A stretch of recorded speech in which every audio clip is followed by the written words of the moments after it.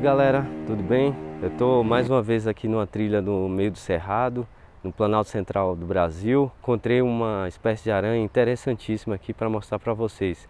O nome dela é Parawixia bistrata.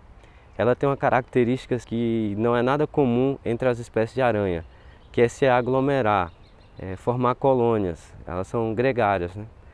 Elas, como vocês podem ver nas imagens, durante o dia formam um, um bloco, né?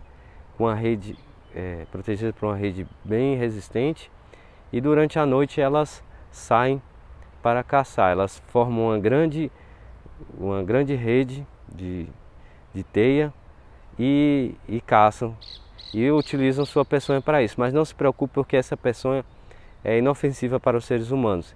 Inclusive está sendo estudado na, na USP o aproveitamento dessa peçonha no tratamento do mal de Alzheimer e da esclerose lateral amiotrófica. E como é que funciona isso?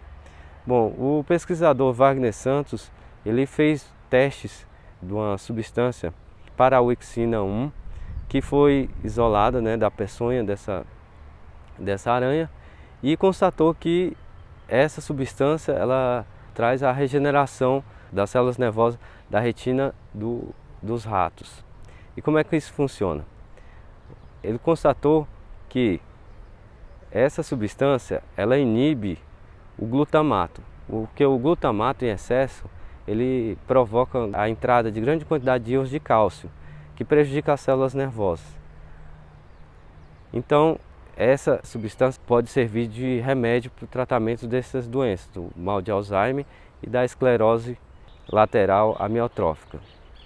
E com isso a gente vê também a importância da de se preservar e conhecer a biodiversidade. Cada ser vivo ele, é, ele tem um, é um potencial enorme para ser aproveitado pelos seres humanos. E se, você, se a gente começar a desmatar a, a vegetação e dessa forma acabar com a nossa fauna, a gente perde uma grande quantidade de seres vivos que poderiam ser utilizados pelos seres humanos de forma benéfica. Então, se você gostou desse tipo de vídeo, compartilhe aí com seus amigos e se inscreva no canal para acompanhar mais sobre esse tipo de material de natureza, de meio ambiente. E é isso aí. Tamo junto, fique com Deus, até mais gente.